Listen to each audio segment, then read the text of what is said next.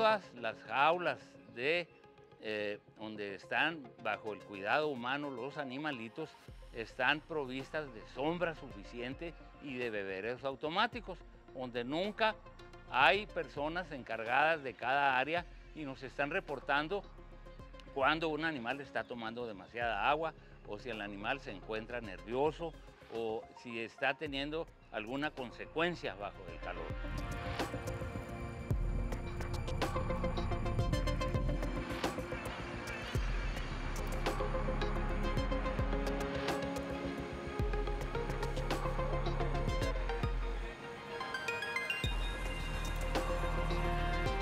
Muchos de los niños en muchas de las zonas alejadas de la ciudad muchas veces no tienen transporte propio.